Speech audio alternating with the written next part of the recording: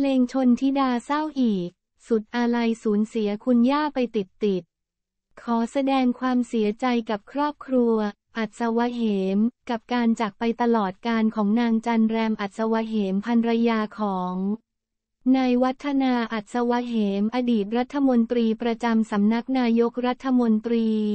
รัฐมนตรีช่วยว่าการกระทรวงอุตสาหกรรมและกระทรวงมหาดไทย และอดีต ส